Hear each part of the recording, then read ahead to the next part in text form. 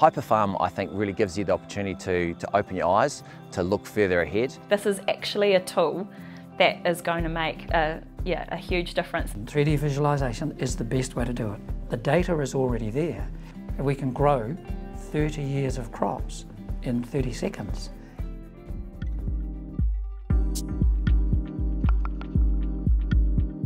I'm Trevor Stuthridge, I'm the Research Director for Ag Research. So my role really is to look after the science engine for the organisation. So I'm involved in looking after 530 scientific staff. So we have a range of people working on Hyperfarm that probably wouldn't normally work together. So we started with a small team with expertise in social, biophysical and farm system science. And we are now a bigger team with a lot of knowledge on digital to development and three companies are now involved into the development.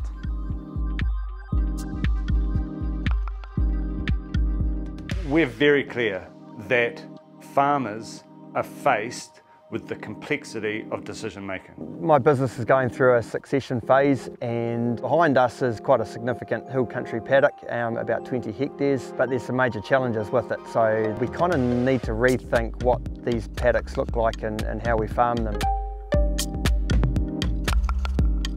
We had a theory that we could help farmers make decisions if we showed them a picture of what they were deciding on.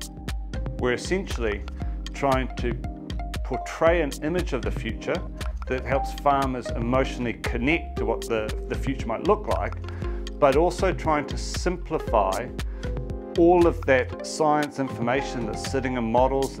And we did that with a quite a simple concept. Yeah, well, I think Hyperfarm's a great example where we're taking some deep science that's been developed over a, a, number of years, and often this science takes quite a while to get to the end user because we need to sort of package it up. So Hyperfarm's a way of packaging up our science in a way that's readily accessible to the farmers. It wasn't hard to um, find farmer groups for the project. Hyperfarm had already been out and showcased at some events um, so we really quickly found um, three farmer groups, Rural Innovation Lab, Southern Dairy Hub and a group of farmers in the Amuri catchment. Hi, I'm Matt Hocken. Uh, this is Grassmere Dairy. It's our farm in the Manawatu on the banks of the Oroua River. So we've been working with Ag Research on their Hyperfarm tool.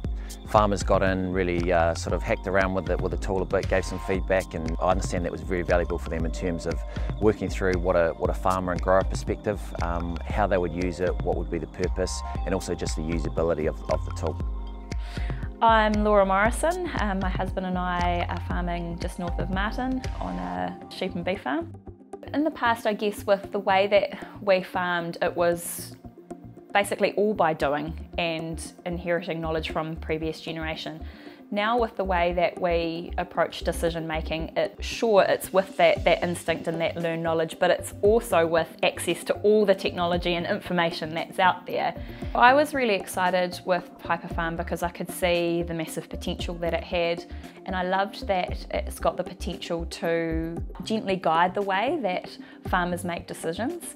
For me, agriculture is on the cusp of a big transition. Uh, and it's, so it's really exciting to be part of a, a, tool that's really at the cutting edge. Essentially, you know, what we're doing is, is, is farming land, farming soil, and, and what we do with that, um, the most productive use, the one that's accepted by the consumer, by, by communities, is the one that will be the, the most successful going forward. Since the first generation, we worked a lot on the modeling part. Uh, we are now able to provide a more holistic view of the land use change and the impact of land use change. We now have four different indicators for water quality, three different indicators for greenhouse gases emissions, two indicators for economic profitability, and an updated version of the biodiversity model. So it is now very an integrated understanding on what is the impact of new land uses.